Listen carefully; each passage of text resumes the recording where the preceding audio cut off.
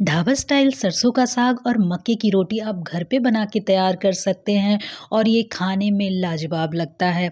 बहुत ही सिंपल तरीके से आप घर पे बिल्कुल ढाबा के स्टाइल की मक्के की रोटी और सरसों का साग बनाइए और अपने फैमिली एंड फ्रेंड्स के साथ इसे इंजॉय कीजिए। बहुत ही आसान है बनाना। सिंपल इन्ग्रीडियंट्स के साथ बनकर के तैयार हो जाता है और बिल्कुल पंजाब स्टाइल सरसों का साग, ऑथेंटिक तरीके से आज मैं आपको बनाना बताऊँगी। और आप मक्के की रोटी कैसे एक बार में फुली फुली बनकर बना करके तैयार कर सकते हैं? आज उसके भी छोटे छोटे सीक्रेट्स को मैं आपके साथ शेयर करूँगी। तो चलिए फिर बिना किसी देरी के मक्के की फुली फुली रोटियाँ और सरसों का साग बना करके हम तैयार करते हैं। तो चलिए फिर सबसे पहले सरसों का साग बना के तैयार करते हैं। तो उसके लिए मैंने ले लिया है ये सरसों के पत्ते। इसके जड़ वाले हिस्से को हमें काट करके हटा लेना है। इसे अच्छे से वॉश करके इसे अच्छे से सुखा लेना है, साफ़ कर लेना है। मतलब इसमें मिट्टी नहीं होनी चाहिए। इस चीज़ का हमें ध्यान रखना है और इसे अच्छे से साफ़ करके उसके बाद इस तरीके से इसे चॉप कर लीजिए। सरसों के साथ कुछ लोग पालक मिक्स करते हैं तो कुछ लोग बथुए का साग मिक्स करते हैं, कुछ लोग इसमें खिसारी का साग भी मिक्स करते हैं। साथ में थोड़ा सा मेथी भी आप चाहें तो ऐड कर सकते हैं। इससे इसका स्वाद बहुत ही अच्छा होके आता है। तो आज मैं यहाँ पे सरसों के साग के साथ थोड़ा सा बथुआ ऐड कर रही हूँ और थोड़े से मेथी ऐड कर रही हूँ। आप मेथी और बथुए के साग के साथ चाहें तो पालक भी ऐड कर सकते हैं मतलब पालक के पत्तों को भी ऐड कर सकते हैं। तो जिस तरीके से हमने सरसों के पत्तों को अच्छे से धोकर साफ़ कर लिया लिया और उसे बारीक बारीक चॉप कर लिया है। ठीक उसी तरीके से हमें बथुए के पत्तों को भी अच्छे से धो करके साफ़ कर लेना है और इसे भी सुखा करके हमें अच्छे से बारीक चॉप कर लेना मतलब इसे हमें तौलिए से ड्राई कर लेना है और इसे बारीक चॉप कर लेना है। तो बस इस तरीके से इसे भी बारीक चॉप कर लीजिए और अगर आप पालक इस्तेमाल कर रहे हैं, मेथी इस्तेमाल कर रहे हैं तो उसे भी आप बारीक चॉप कर लीजिए। सबसे ज़्यादा इसमें सरसों होगा क्योंकि हम सरसों का साग बना के तैयार कर रहे हैं। और उसके बाद आप जितना पालक लेना चाहें मतलब कि सरसों का आधा हमें पालक और मेथी या फिर आप चाहें तो बथुआ ले सकते हैं। इन सबको अच्छे से धो करके, साफ़ करके बारीक चॉप कर लीजिए। चलिए आगे बढ़ते हैं। आज हम बिल्कुल ट्रेडिशनल तरीके से सरसों का साग बना करके तैयार कर रहे हैं तो उसे हम इस तरीके से भगोने के अंदर धीरे धीरे पकाएँगे। अब चाहें तो इसे प्रेशर कुक भी कर सकते हैं मतलब इसे प्रेशर कुकर के अंदर डाल करके चार से पाँच विसिल आने तक पकाएँगे, तब भी हमारे सरसों के साग बिल्कुल अच्छे से पक करके तैयार हो जाएगा। लेकिन आज हम इसे बिल्कुल ट्रेडिशनल तरीके से, ऑथेंटिक तरीके से बना के तैयार कर रहे हैं तो इस तरीके से इसे भगोने में रखेंगे। अब इसे हम रखेंगे अपने कुकटॉप के ऊपर और लो फ्लेम फ्लेम पे इसे हम 10 से 12 मिनट तक पकने देंगे। आप देखेंगे कि धीरे धीरे यहाँ पे अपने आप ही पानी आ जाएगा क्योंकि हमारे पत्तों से, हमारे साग से ढेर सारा पानी इकट्ठा हो जाएगा। तो ये देखिए 10 से 12 मिनट हो चुके हैं और हमारे साग जो है मतलब कि हमारे सरसों के पत्तों से बिल्कुल अच्छे से पानी निकल चुका है। तो ये देखिए, इन्हें अच्छे से दबाते हुए या फिर मतलब इसे हमें अच्छे से घोट घोट करके पकाना है, बिल्कुल ट्रेडिशनल तरीके से, जैसे कि ढाबा पे पकाया जाता है या फिर जैसे पंजाब में पकाया जाता है, ठीक उसी तरीके से पका कर आप इसको साग बना के तैयार कर सकते हैं। अब इस स्टेज पे हम क्या करेंगे कि हम इसमें से आधे साग को निकाल करके और उसका हम फाइन पेस्ट बना करके तैयार कर लेंगे और आधे साग को हम इसी तरीके से मसल मसल करके और इसी तरह घोट करके ही पकाएँगे। तो बस आधे को निकाल के उसे ठंडा कीजिए और उसको मिक्सर जार में डाल करके उसका फाइन पेस्ट बना करके तैयार कर लीजिए। तो ये देखिए इसे इसी तरीके से अच्छे से घोट घोट करके हमें पकाना है। तो कुल मिलाकर करके चौदह से पंद्रह मिनट तक इसे अच्छे से पकाएँगे और देखेंगे हमारे जो साग हैं बिल्कुल नरम हो चुके हैं। चलिए अब एक तड़के की तैयारी करते हैं तो एक पैन ले लेंगे, उसे रखेंगे कुकटॉप के ऊपर, इसमें ऐड करेंगे लगभग दो चम्मच के करीब घी ऑयल या फिर बटर जो भी आप ऐड करना चाहें, ऐड कर सकते हैं। जब हमारा ऑयल अच्छे से गर्म हो जाए तो इसमें हम ज़ीरा, लाल मिर्च और लहसुन का तड़का लगाएँगे तो सबसे पहले ऐड करेंगे ज़ीरा, उसके बाद हम इसमें लहसुन ऐड कर देंगे। तीन से चार लाल मिर्चों को ऐड कर दीजिए इसमें। अब जब ये सारी चीज़ें अच्छे से कुक हो जाए, अच्छे से पक जाए तो इसमें हम ऐड करेंगे दो मीडियम साइज़ के प्याज उसे बारीक चॉप कर लीजिए और उसे इसमें ट्रांसफ़र कर लीजिए।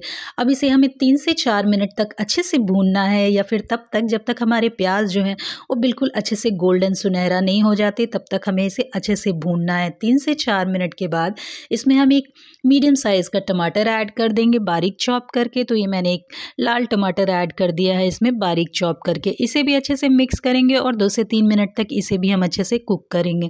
चलिए, अब इसमें हम ऐड कर देंगे थोड़ा सा स्वाद अनुसार नमक।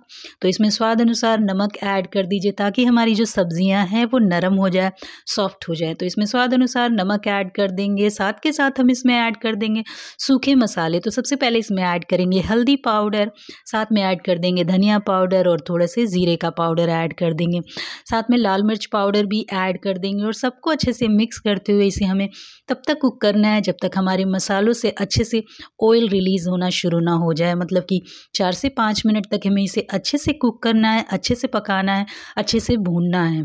से पाँच मिनट जब हमारी सब्ज़ियाँ अच्छे से भून जाए और उसमें से ऑयल निकलना शुरू हो जाए तो इसमें हम ऐड करेंगे लगभग एक चम्मच के करीब गरम मसाला। तो ये मैंने इसमें एक चम्मच के करीब गरम मसाला ऐड कर दिया है। अब इसे भी हमें अच्छे से भूनना है लगभग एक से दो मिनट के लिए। और इसके बाद इसमें हम ऐड कर देंगे हमने जो साग को पकाया था मतलब हमने जो सरसों को पकाया था, उसे हम इसमें ट्रांसफ़र कर देंगे।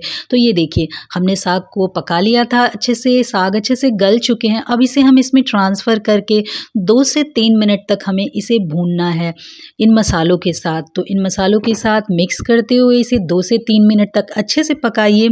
हाई फ्लेम पे पकाइए ताकि हमारा जो ये पानी है, सरसों के साग के साथ जो पानी है, वो अच्छे से सूख जाए। अब इसी इसी स्टेज पे हम ऐड करेंगे। हमने जो प्यूरी बना के तैयार किया था मतलब हमने जो सरसों के साग का पेस्ट बना के तैयार किया था, उसे भी हम इसमें ट्रांसफ़र कर देंगे और सबको अच्छे से मिक्स करते हुए अभी हमें चार से पाँच मिनट तक अच्छे से कुक करना है। इस स्टेज पे हमारा फ्लेम जो है मीडियम रहेगा। मतलब इसे हाई फ्लेम पे नहीं पकाना मीडियम फ्लेम पे इसे हमें सबको मिक्स करते हुए पकाना है।